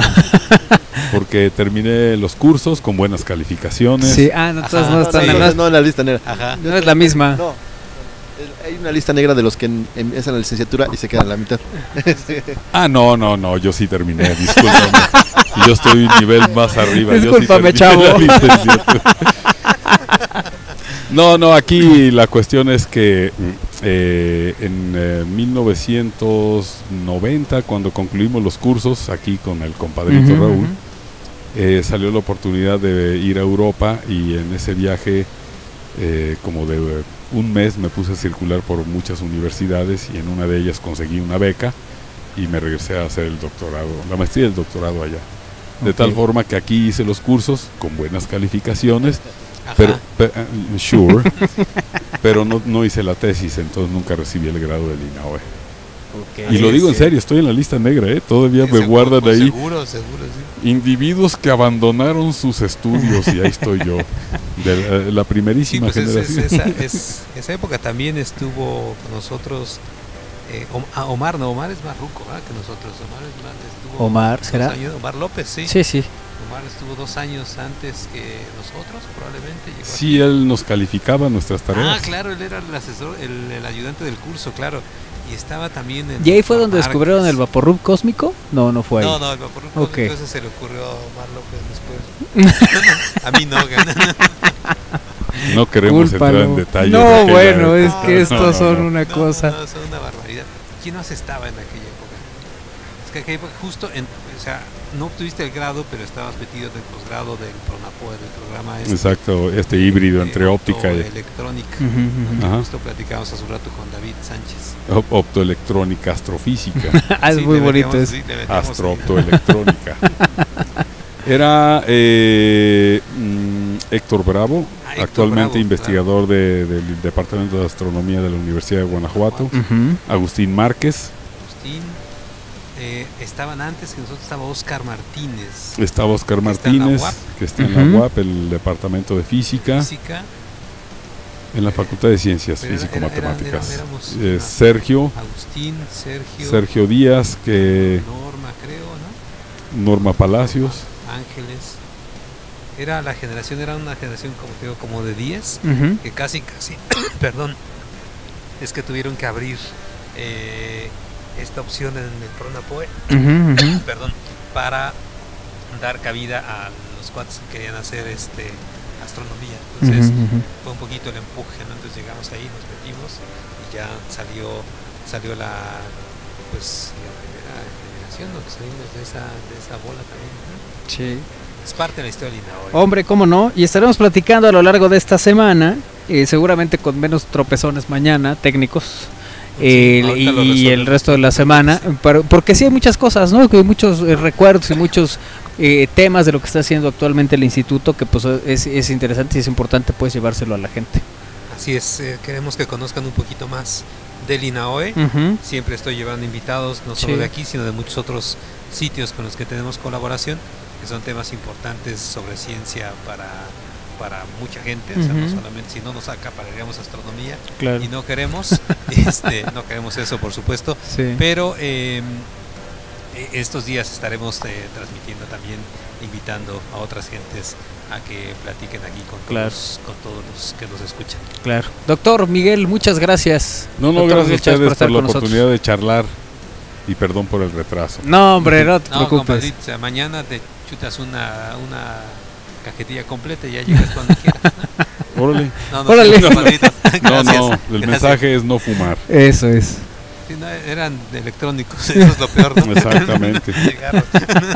De ahora que andan queriendo legalizar no sé qué cosa. sí, bueno, es sí. cierto. Lo, bueno es que no pastito. se, lo bueno es que no se transmite el- la peste por, Sí, sí, sí, por, las ondas.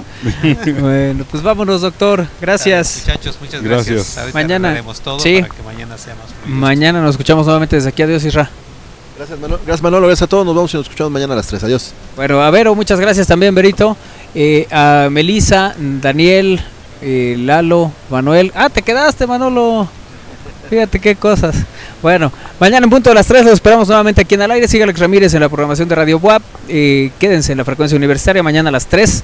Nos saludamos nuevamente aquí en el aire desde el INAUE. Adiós.